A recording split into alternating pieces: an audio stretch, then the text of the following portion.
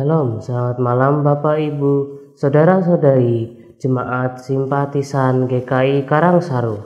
Jumpa lagi dalam program Mari Membaca Alkitab. Sebelum membaca, kita awali dengan berdoa terlebih dahulu. Mari kita berdoa. Ya Bapa, kami berdoa, kami akan memulai pembacaan firman-Mu. Bimbinglah dalam pembacaan ini, semoga dapat menyampaikan firman-firman dan orang-orang yang mendengarkan firman ini dapat berguna untuk mereka. Amin. Tema malam ini adalah ayam atau telur. Firman Tuhan terambil dari Amos pasal 3 ayat 1 sampai 6 ayat 14. Dengarlah firman ini yang diucapkan Tuhan tentang kamu, hai orang Israel, tentang segenap kaum yang telah kutuntun keluar dari tanah Mesir. Bunyinya, hanya kamu yang ku kenal dari segala kaum di muka bumi, sebab itu aku akan menghukum kamu karena segala kesalahanmu. Berjalankah dua orang bersama-sama jika mereka belum berjanji? Mengaukah mereka seekor singa di hutan apabila tidak mendapat mangsa? Bersuarakah singa muda dari sarangnya jika belum menangkap apa-apa? Jatuhkan seekor burung ke dalam perangkap di tanah apabila tidak ada jerat terhadapnya. Membingkaskah perangkap dari tanah? Jika tidak ditangkapnya sesuatu, adakah sangka kalah ditiup di suatu kota dan orang-orang tidak gemetar? Adakah terjadi malapetaka di suatu kota dan Tuhan tidak melakukannya? Sungguh Tuhan Allah tidak berbuat sesuatu tanpa menyatakan keputusannya kepada hamba-hambanya para nabi. Singa telah mengaum, siapakah yang tidak takut? Tuhan Allah telah berfirman, siapakah yang tidak bernubuat? Siarkanlah di dalam Puri dan Asyur, dan di dalam Puri dan di tanah Mesir, serta katakan, berkumpullah di gunung-gunung dekat Samaria, dan pandanglah kekacauan besar yang ada di tengah-tengahnya, dan pemesaran yang ada di kota itu mereka tidak tahu berbuat jujur. Demikianlah firman Tuhan. Mereka itu menimbun kekerasan dan aniaya di dalam purinya. Sebab itu beginilah firman Tuhan Allah. Musuh akan datang di sekeliling negeri. Kekuatanmu akan ditinggalkannya daripadamu. Dan purimu akan dijarahi. Beginilah firman Tuhan. Seperti seorang gembala melepaskan dari mulut singa dua tulang betis atau potongan telinga. Demikianlah orang Israel yang diam di Samaria akan dilepaskan seperti sebagian dari katil, seperti sepenggal dari kaki balai-balai.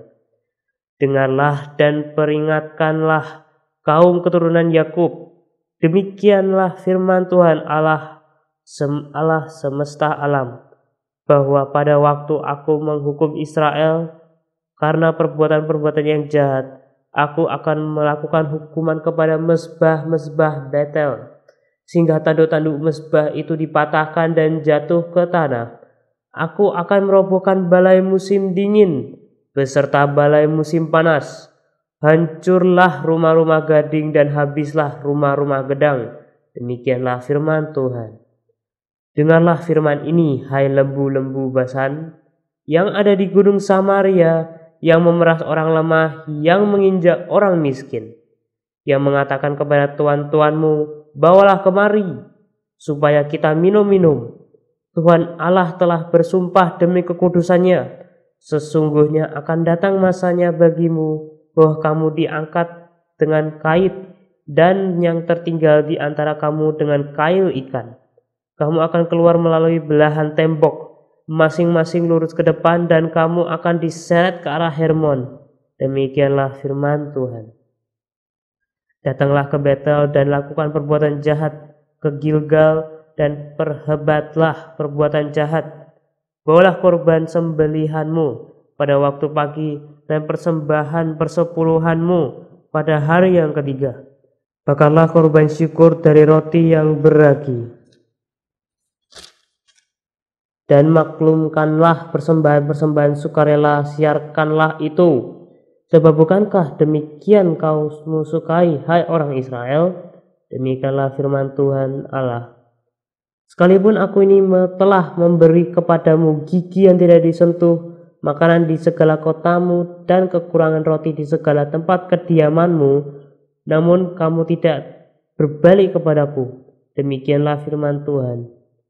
Aku pun telah menahan hujan daripadamu ketika tiga bulan lagi sebelum panen. Aku menurunkan hujan ke atas kota yang satu dan tidak menurunkan hujan ke atas kota yang lain ladang yang satu kehujanan dan ladang yang tidak kena hujan menjadi kering. Penduduk dua tiga kota pergi terhuyung-huyung ke satu kota untuk minum air tetapi mereka tidak menjadi puas. Namun kamu tidak berbalik kepadaku. Demikianlah firman Tuhan. Aku telah memukul kamu dengan hama ya, dan penyakit gandum. Aku telah melayunkan taman-tamanmu dan kebun-kebun anggurmu pohon-pohon ara dan pohon-pohon zaitunmu dimakan habis oleh belalang, namun kamu tidak berbalik kepadaku. Demikianlah firman Tuhan. Aku telah melepas penyakit sampar ke antaramu, seperti kepada orang Mesir. Aku telah membunuh keturunanmu, dan dengan pedang pada waktu kudamu dijarah. Aku telah membuat bau busuk perkemahanmu tercium oleh hidungmu namun kamu tidak berbalik kepadaku. Demikianlah firman Tuhan. Aku telah menjungkir balikan kota-kota di antara kamu, seperti Allah menjungkir balikan Sodom dan Gomora, sehingga kamu menjadi seperti puntung yang ditarik dari kebakaran, namun kamu tidak berbalik kepadaku. Demikianlah firman Tuhan. Sebab itu demikianlah akan kulakukan kepadamu, hai Israel. Oleh karena aku akan melakukan yang demikian kepadamu, maka bersiaplah untuk bertemu dengan Allahmu, hai Israel.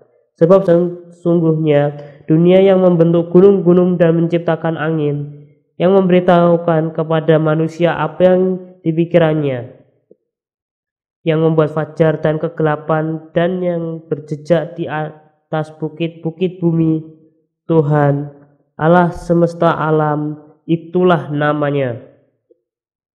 Dengarlah perkataan ini yang kuucapkan tentang kamu sebagai ratapan, hai kaum Israel.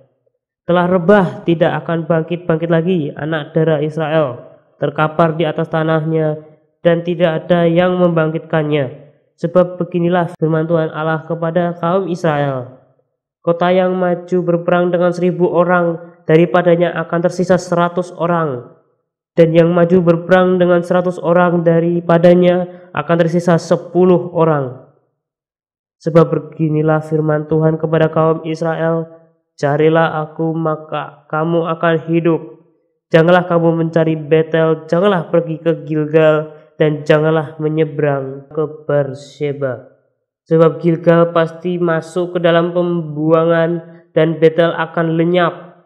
Carilah Tuhan, maka kamu akan hidup supaya jangan ia memasuki keturunan Yusuf bagaikan api yang memakannya habis dengan tidak ada yang memadamkan bagi Betel.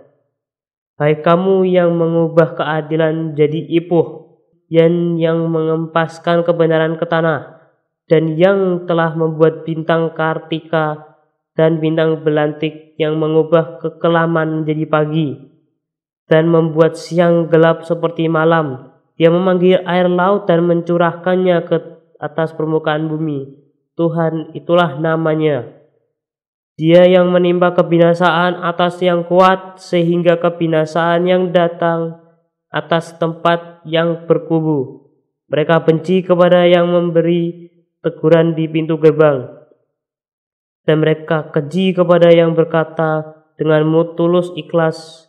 Sebab itu karena kamu menginjak-injak orang yang lemah dan mengambil pajak gandum padanya, sekalipun kamu telah mendirikan rumah-rumah dari batu pahat, kamu tidak akan mendiaminya. Sekalipun kamu telah membuat kebun anggur yang indah, kamu tidak akan minum anggurnya. Sebab aku tahu bahwa perbuatanmu yang jahat banyak dan dosamu berjumlah besar hai kaum yang menjadikan orang benar terjepit yang menerima uang suap dan mengesampingkan orang miskin di pintu gerbang. Sebab itu orang yang berakal budi akan berdiam diri pada waktu itu karena itu adalah waktu yang jahat. Carilah yang baik dan jangan yang jahat, supaya kamu hidup dengan demikian Tuhan Allah semesta alam akan menyertai kamu seperti yang kamu katakan. Bencilah yang jahat dan cintailah yang baik, dan tegakkanlah keadilan di pintu gerbang. Mungkin Tuhan Allah semesta alam akan mengasihani sisa-sisa keturunan Yusuf sesungguhnya. Beginilah firman Tuhan Allah semesta alam, Tuhanku. Di segala tanah lapang akan ada ratapan dan di segala lorong orang akan berkata, Wahai, wahai, petani dipanggil untuk berkabung dan orang-orang yang pandai meratap untuk mengadakan ratapan. Dan di segala kebun anggur akan ada ratapan apabila aku berjalan dari tengah-tengahmu firman Tuhan. Celakalah mereka yang menginginkan hari Tuhan. Apakah gunanya hari Tuhan itu bagimu? Hari itu kegelapan, bukan terang. Seperti se seorang yang lari terhadap singa. Seekor beruang mendatangi dia, dan ketika ia sampai ke rumah, bertopang dengan tangannya ke dinding. Seekor ular memagut dia. Bukankah hari Tuhan itu kegelapan dan bukan terang? kelam kabut dan tidak bercahaya. Aku membenci, aku menghinakan perayaanmu, dan aku tidak senang kepada perkumpulan rayamu. Sungguh, apabila kamu mempersembahkan kepadaku korban-korban bakaran dan korban sajianmu, aku tidak suka. Dan korban keselamatanmu berupa ternak yang tambun, aku tidak mau pandang. Jauhkanlah daripada aku keramaian nyanyian-nyanyianmu, lagu gambusmu tidak mau aku dengar. Tapi biarlah keadilan bergulung-gulung seperti air dan kebenaran seperti sungai yang selalu mengalir. Apakah kamu mempersembahkan kepadaku korban sembelihan dan korban sajian selama empat puluh tahun di padang gurun itu, hai kaum Israel? Kamu akan mengangkut sakut rajamu dan kewan dewa bintangmu, patung-patungmu yang telah kamu buat bagimu itu. Dan aku akan membawa kamu ke dalam pembuangan jauh ke seberang Damsyik. Firman Tuhan yang namanya Allah semesta alam. Celaka atas orang-orang yang merasa aman di Sion dan orang-orang yang merasa ten Trump di Gunung Samaria atas orang-orang terkemuka dari bangsa yang utama. Orang-orang yang kepada mereka kaum Israel biasa datang, menyeberanglah ke Kalne dan lihat-lihatlah, berjalanlah ke sana. Hamat yang besar itu dan pergilah ke Gad orang Filistin. Adakah mereka yang lebih baik dari kerajaan-kerajaan ini atau lebih besarkah daerah mereka dari daerahmu, hai kamu yang menganggap jauh hari malapetaka? Tetapi mendekatlah pemerintahan kekerasan yang berbaring di tempat tidurmu, tidur dari gading, dan duduk berjuntai di ranjang, yang memakan anak-anak domba dari kumpulan kambing domba dan anak-anak lembu dari tengah-tengah kawanan bintang yang tambun, yang bernyanyi-nyanyi mendengar bunyi gabus dan seperti Daud menciptakan bunyian-bunyian bagi dirinya, yang minum anggur dari bokor dan berurap dengan minyak yang paling baik, tetapi tidak berduka karena hancurnya keturunan Yusuf. Sebab itu sekarang mereka akan pergi sebagai orang buangan di kepala barisan dan berlalulah keriuhan pesta orang-orang yang duduk berjuntai itu. Tuhan Allah telah bersumpah demi dirinya. Demikianlah firman Tuhan Allah semesta alam. Aku ini keji kepada kecongkakan Yakub dan benci kepada putrinya. Aku akan menyertakan kota serta isinya Dan jika masih tinggal 10 orang dalam satu rumah, mereka akan mati. Dan jika pamannya pembakar mayat itu yang datang mengangkat dan mengeluarkan mayat itu dari rumah itu bertanya kepada orang yang ada di bagian belakang rumah, "Adakah lagi orang bersama-sama engkau?" Dan dijawab, "Tidak ada." Ia akan berkata, "Diam, sebab tidaklah patut menyebut-nyebut nama Tuhan. Sebab sesungguhnya Tuhan memberi perintah, maka rumah besar dirobohkan menjadi reruntuhan dan rumah kecil menjadi rongsokan. Berlalilah kuda-kuda di atas bukit batu, atau dibajak orangkah laut dengan lembu. Sungguh, kamu telah mengubah keadilan menjadi racun, dan hasil kebenaran menjadi ipuh.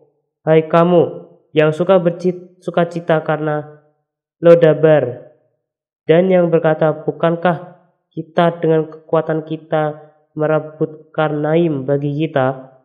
Sebab sesungguhnya aku akan membangkitkan suatu bangsa melawan kamu hai kaum Israel. Demikianlah firman Tuhan Allah semesta alam dan mereka akan menindas kamu dari jalan yang menuju Hamat sampai ke sungai yang ada di Araba. Demikianlah firman Tuhan, syukur kepada Allah. Mana yang lebih dulu, ayam atau telur? Mungkin saudara sudah mendengar orang berdebat mengenai pertanyaan ini. Kadangkala orang Kristen mengajukan pertanyaan seperti ayam dan telur ini. Apa yang terpenting untuk menyenangkan hati Tuhan? Siapa kita atau apa yang kita lakukan? Sebagian orang Kristen akan mempertahankan pendapat mereka bahwa yang paling penting adalah siapa diri mereka. Yang kita perlukan adalah iman siapa manusia yang di dalam diri kita yang terpenting. Jika kita berbuat dosa, yang perlu kita lakukan adalah meminta ampun kepada Tuhan dan berusaha untuk hidup lebih baik. Sebagian lain akan mempertahankan pendapat mereka bahwa yang paling penting adalah apa yang kita lakukan. Allah akan disenangkan bila kita membantu tugas di sekolah minggu, pergi ke gereja, atau pelayanan ke panti asuhan ataupun panti jompo. Apa yang paling Allah kehendaki dari kita? Hati yang benar atau hidup yang diubahkan? Jawabnya, dua-duanya. Amos menyampaikan pesan Tuhan kepada bangsa Israel karena mereka telah gagal untuk hidup sesuai dengan yang Allah harapkan mereka telah gagal untuk memiliki hati yang benar, gagal bertindak dengan benar. Bagaimana kita bisa mendapatkan hati yang benar di hadapan Allah? Amos berkata kepada bangsa Israel agar mereka mencari Tuhan dan jalanilah hidup. Ketika kita memiliki hati yang benar di hadapan Allah dan ada kerinduan untuk menyenangkan Tuhan, maka kehidupan kita akan berubah juga. Seseorang yang mengasihi Allah dengan segenap hati akan menyenangkan Tuhan dengan perbuatannya. Bagaimanakah tindakan saudara? Apakah saudara adalah orang yang tindakannya menunjukkan bahwa saudara mengasihi Allah? Mintalah Tuhan untuk menolong saudara agar kehidupan saudara dekat kepadanya sehingga saudara lebih mengasihinya melalui perbuatan saudara. Mari kita berdoa.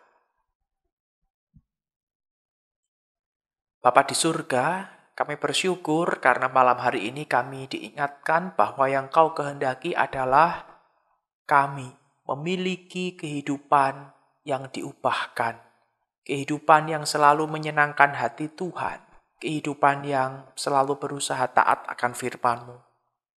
Mampukan kami agar kami tidak larut dalam berbagai macam perdebatan yang tidak perlu, tetapi kami berfokus pada bagaimana kami boleh menaati firman Tuhan, hidup seturut dengan jalanmu. Ini kami anak-anakmu yang rindu untuk hidup seturut dengan firman-Mu. Dalam nama Tuhan Yesus kami berdoa. Amin. Selamat malam, selamat beristirahat. Tuhan Yesus memberkati.